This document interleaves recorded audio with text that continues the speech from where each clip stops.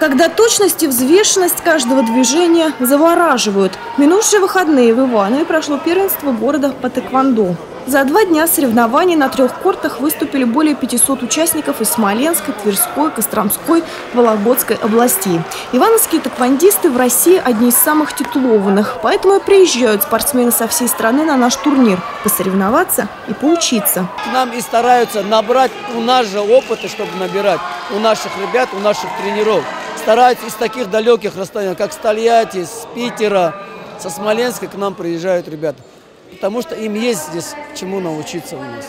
На этом корте сошлись Иваново и Тверь. В синей экипировке местный боец. Гость уходит из поединка побежденным. А как иначе, когда тренирует ивановского тэквондиста сам Артур Кан. Ну, лично мне нравится, потому что он первый паралимпийский чемпион мира 2009 года.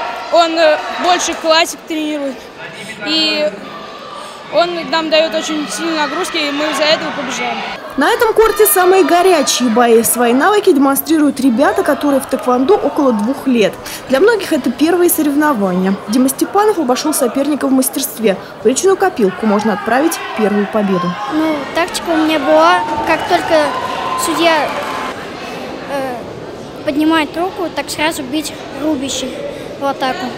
Для малышей это первое испытание боя. Для ребят постарше шанс поехать на соревнования Центрального федерального округа, а потом и на всероссийские. Первенство города Иваново планировало принять гораздо больше спортсменов, но после трагедии в Ханты-Мансийске, где в ДТП погибли юные акробаты, требования к перевозкам детей ужесточились, и не все желающие смогли добраться до города невест. Елена Белова, Денис Денисов, РТВ Иваново.